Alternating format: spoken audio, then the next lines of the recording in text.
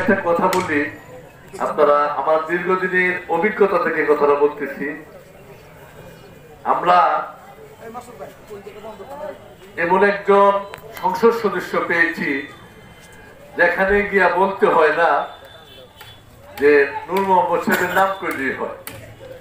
যে আপনাদের এমপি কে যে নূর মোহাম্মদ সাহেব।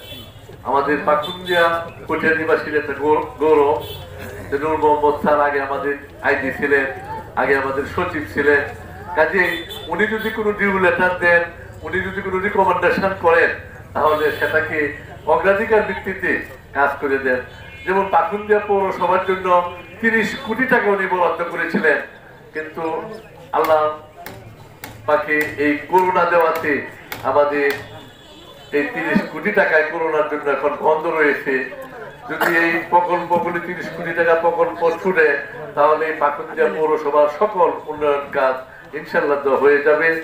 ভাইয়ার আমার বন্ধুরা আমার আমার ছোট ভাই, এও বলেছে, রুবেল বলেছে, আজকের এই দিনে এই পাখুন্দিয়া থেকে সন্ত্রাস, দুর্নীতি, চাঁদাবাজি, মানুষকে ঠকানি, চুরি সুসাম বিদায় দিচ্ছেন নূর মোহাম্মদ সাহেব।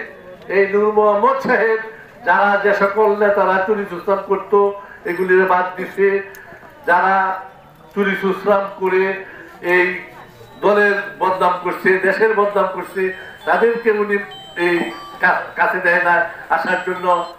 অনেকে বলতে পারেন যে, মেয়র সাহেব, আপনি তৎকালী ভালো মানুষ। আমি এবার একটা ভালো মানুষ হয়ে গেছি না। আমি কেন ভালো মানুষ হয়ে গেছি? আমার বিরুদ্ধে বুঝতে পারা একটা দরখাস্ত দিল মন্ত্রী সাহেবের কাছে। মন্ত্রী সাহেবের থেকে তিনজন সচিব আসলো। আমার এই দরখাস্ত দুই দিন গেলে এই বাইরে বাইরে দিয়া আপনি যাচাই বাছাই করছি। করে বলছে যে সঠিক আছে সকল কাজ কর্ম উনি কোনো চুরি চুস্তাম করে নাই। কাজেই আজকে আমাকে কারা ভালো বানাইছে?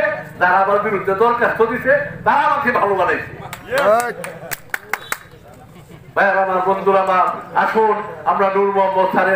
শক্তিশালী করি, আগামী দিন শক্তিশালী গড়ে তুলি, আগামী দিন উন্নয়নের গড়ে তুলি। আগামী দিন আমাদের কাছের মানুষ নূর মোহাম্মদ ভাইয়ের সাথে থেকে আমরা দলমত নির্বিশেষে সবার কাছে আমি আজকে একটা অনুরোধ করে গেলাম যে দল আপনার, দল যার কিন্তু ব্যক্তিটাকে মনে রাখবেন যে ব্যক্তি ভালো মানুষ সে ব্যক্তি যদি আমাদের প্রতিনিধি হয়, তাহলে দেশের কল্যাণ হবে, মানুষের কল্যাণ হবে, সবার কল্যাণ হবে।